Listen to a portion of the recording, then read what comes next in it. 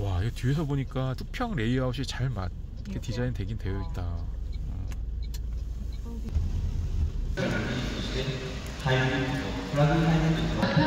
되는데요. 저희 플러그인 하이브리드 같은 경우 기자님들이 각 코스에 어울리는 드라이브 네, 메이드 인 재팬이라고 되어 있습니다. 단순히 대기량 증가뿐만 아니라 폴트 분사와 직분사 병행 사용을 기포에서 적용해서 경태형 가속감을 실행하실 때 좋을 것 같고요. 네, 지금 클러스터 상에서 보시는 아, 주행 가능 거리는 838km가 지금 나오고 있습니다. 어, 에너지 flow를 보게 되면은 지금 배터리로 차량이 가고 있는 것을 이렇게 확인할 수가 있어요. 어, 이 차는 EV 모드, 하이브리드 모드, 충전 모드 세 가지 모드를 선택할 수 있도록 이렇게 되어 있는데요. 이런 부분들은 어, 지금 기어 knob 쪽에 버튼으로 조정될 수 있도록 되어 있습니다. 차는 3,500이 딱 적정할 것 같아. HEV, PHEV는 뭐 당연히 그럴 수도 있는데, 아, 한 3,700? 음, 그 정도? 수입차니까 그래도 7, 800? 그렇게 해서 초도 수요를 끄는 게 낫지. 지금 이렇게 이거 4,000, 뭐 300, 뭐 4,200 이렇게 가면은 아니면 진짜 완전 3,900을 주 타겟층으로 해가지고 음. 3천만 원대를 그 걔네 폭스바겐처럼 음, 그렇게 갔었어도 괜찮았을 텐데. 이 보조석에서 봤을 때는 이 인포테인먼트 창하고 클러스터 화면하고 이게 딱 구분이 딱 되어 있는 게 음, 시야를 막는 느낌이 얘가 좀 너무 큰 것 같아요. 음, 이거는 예전에 렌저 형 말고 그 바렛 버전 나왔을 때도 이게 사이즈가 이게 너무 얘가 이렇게 들어오잖아. 어, 그래서 그랜저 같은 경우 이게 시야를 막는다라는 얘기가 나왔어서 이슈가 되긴 했었는데 지금 이게 시야를 보조해 봤을 땐 좀 막는다는 느낌이 좀 있네.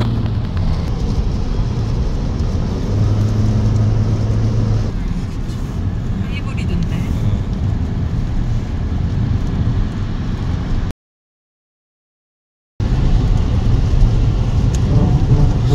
지금도 약간 구간이 내리막길 구간이면 바로 EV가 작동을 하는 거야. 그러니까 EV의 개입력이 상당히 많은 차인 건 맞아요.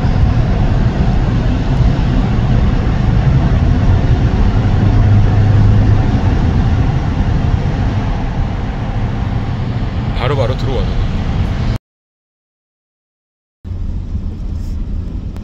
아, 끼고 어, 주행을 하고 있습니다. 라인을 지금 타고 지금 가고 있는데 어, 이때 이제 주행할 때 프리우스의 지금 안정감 이런 그 지금 코스가 계속 그 S자를 아주 가볍게 도는 그런 코스이기 때문에 지금은 어, 배터리 전기차하고 동일한 수준으로 주행을 하고 있는 거죠. 현재 주행 가는 거리는 815km가 남아 있습니다. 어, 이차 처음 출발할 때 834km 정도의 주행 가능 거리가 있었는데요. 지금 한 빠진 어, 키로수가 한 15km밖에 되질 않아요.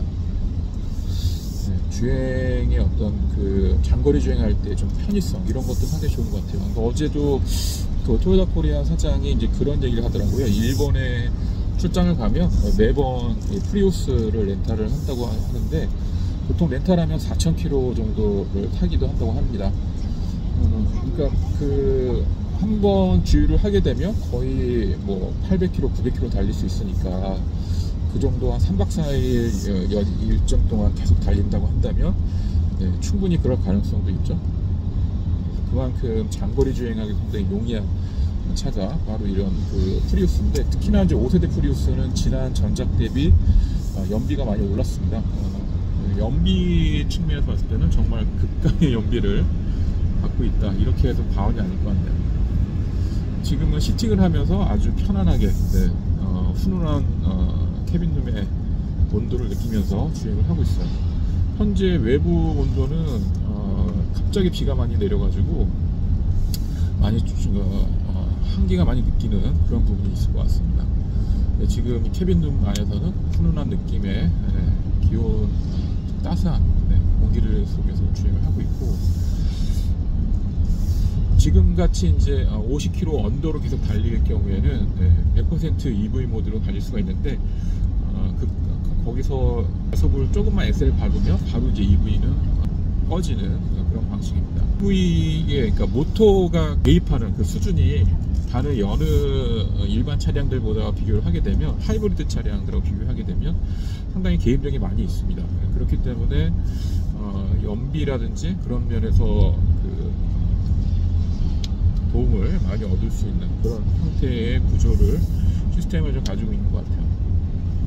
EV로 많이 달리면 달릴수록 이제 하이브리드는 주행 가능 연비가 이제 늘어날 수밖에 없는데 어, 하이브리드 솔직히 마찬가지예요. 그러니까 어, 자기가 예, 급가속을 많이 하거나 이럴 경우에는 예, EV 모드로 달릴 수 있는 음, 거리 수가 많이 줄기 때문에 어, 연비가 많이 떨어질 수밖에 없는데 어, 정속 주행을 하면서 뭐 관성이나 탄성 주행을 많이 이용하시거나 이렇게 그런 어, 경제적인 주행 습관을 많이 들이신 분들한테는 이번 프리우스가 상당히 연비가 많이 올랐다 이런 느낌 많이 느끼실 것 같아요.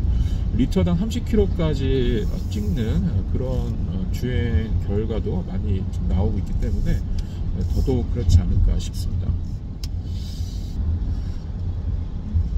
어? 다 왔네?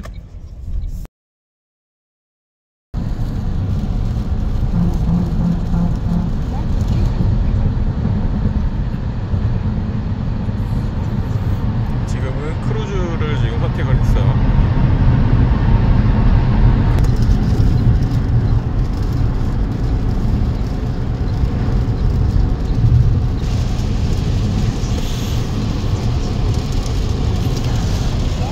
이 비 맞는 차가 차체 비가 떨어지는 소리가 너무 많이 들어온다. 닫았는데도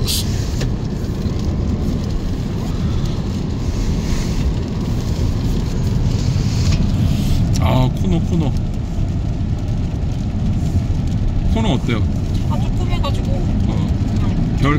네, 별. 솔직히 이 정도 속도 이 정도 길에서 이거 코너링을 느낀다는 건 말이 안 되지.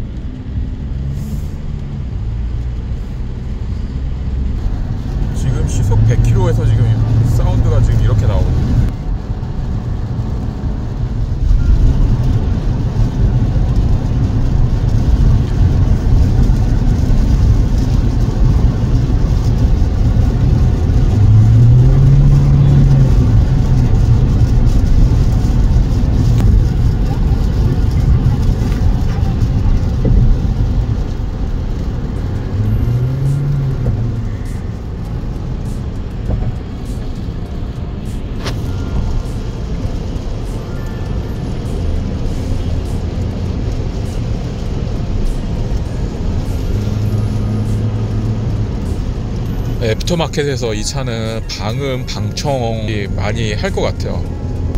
그건 참 아쉽다.